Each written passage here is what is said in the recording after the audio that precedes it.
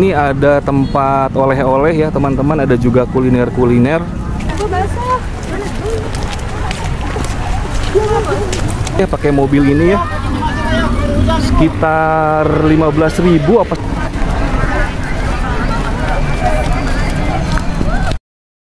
Assalamualaikum warahmatullahi wabarakatuh. Jumpa lagi bersama saya Masuki TV Wah ada burung keren ya Apa kabar teman-teman Semoga kalian diberikan kesehatan Dan diberikan umur yang panjang Serta rezeki yang berlimpah ruah Kali ini saya sedang berada di Masjid Al-Jabar ya teman-teman Masjid Al-Jabar ini berada di daerah eh, Bandung ya di sekitaran jalan ini ya Cimincrang.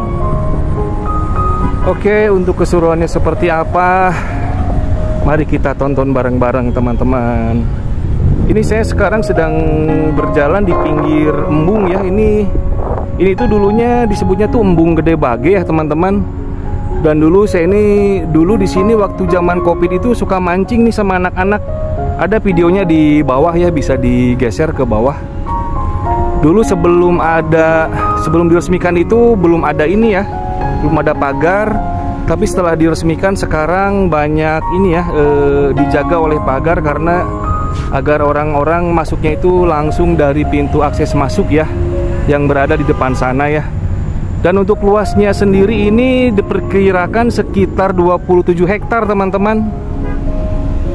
Dan ini posisinya saya rekam di hari Kamis ya hari Kamis ini sekarang uh, sedang libur kebetulan jadi banyak sekali wisatawan-wisatawan yang berkunjung ke Masjid Al-Jabar Bandung. Oke, kita coba ke arah sana ya, teman-teman ya, ke arah depan ya, ke arah pintu masuk.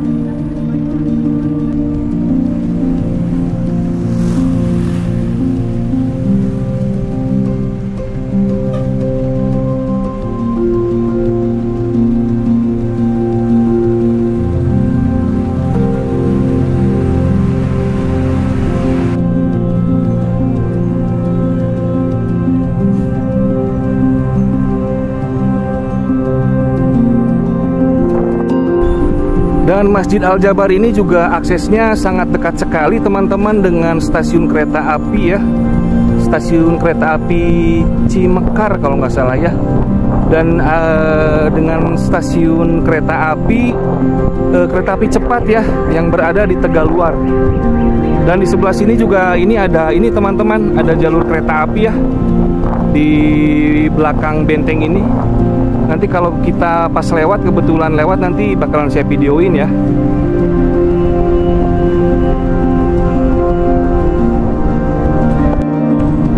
Dan posisinya saat ini sedang hujan gerimis ya teman-teman. Saat ini di Bandung sedang hujan dan ini sekarang pukul setengah lima sore ya Tadi saya lihat di depan sih banyak parkiran mobil, bus dari luar kota ya. Banyak juga yang e, berwisata ke Masjid Al-Jabar ini ya, beribadah dan lain-lain.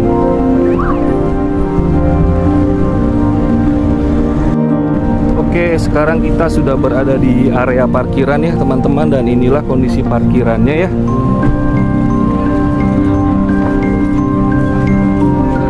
Suasananya hujan gerimis. Nah kalau untuk nah ini juga di sini eh, bisa keliling-keliling juga ya pakai mobil ini ya. Sekitar 15.000 apa 10.000 kalau nggak salah ya teman-teman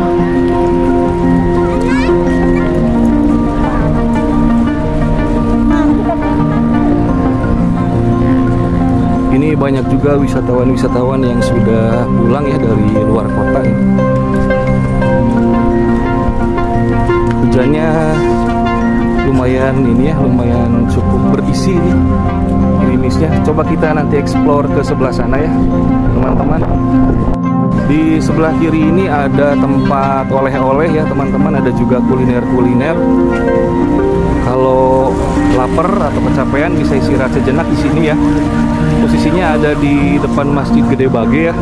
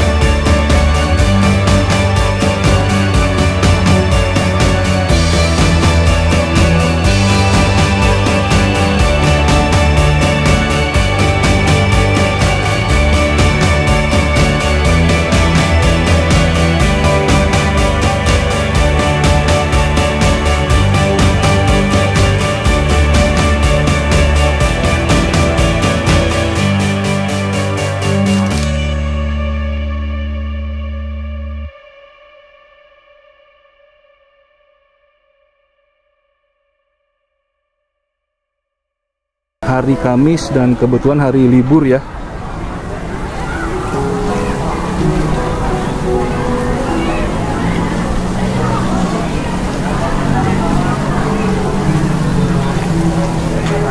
Ini uh, untuk di pintu masuknya bisa terlihat ya banyak sekali wisatawan. Wisata religi.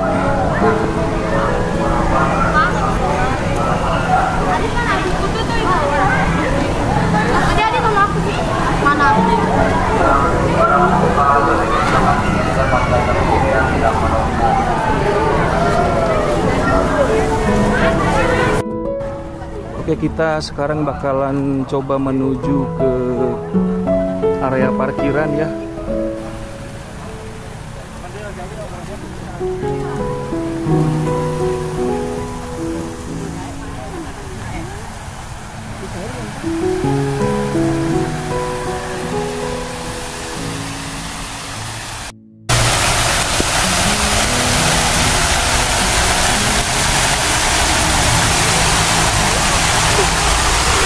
Semakin sore semakin banyak ya eh, berdatangan wisatawan-wisatawan religi. Tadi ada yang dari Bekasi, ada yang dari Kuningan, ada yang dari Bogor, Jakarta. Dan ini posisinya hujan ya, teman-teman.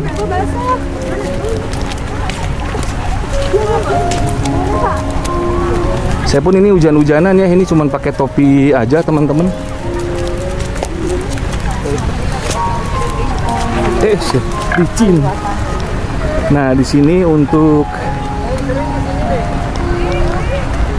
mobil-mobilnya ya buat yang mau berkeliling berkeliling di area kawasan Masjid Al Jabar Gede Bage bisa sewa ya kalau nggak salah itu per orang itu sekitar 10 atau 15 ribu ya teman-teman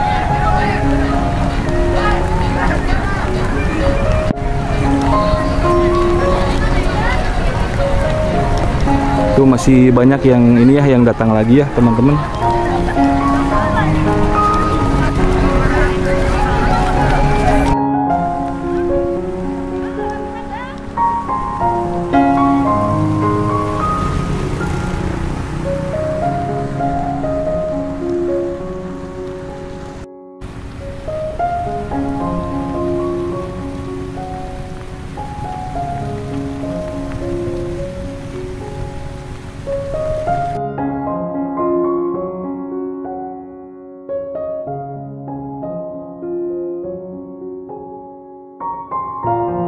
Oke teman-teman Masugi TV eh, Karena cuacanya tidak mendukung hujan ya Jadi saya akhiri dulu Untuk vlog kali ini yang berada di Masjid Al-Jabar eh, Pada hari Kamis ya.